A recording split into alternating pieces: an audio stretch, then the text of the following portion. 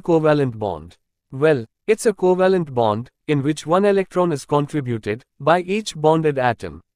Let's take hydrogen as an example. Hydrogen has one electron in its outermost shell and needs one more electron.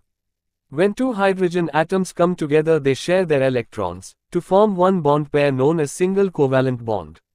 This single bond pair is represented by a single line, between two atoms.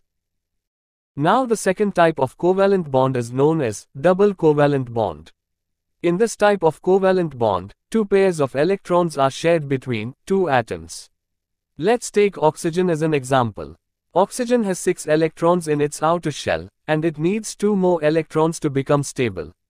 So when two oxygen atoms come together, to form a molecule, they share two pairs of electrons through a double covalent bond. This allows both oxygen atoms to achieve stability, by filling up their outer shells with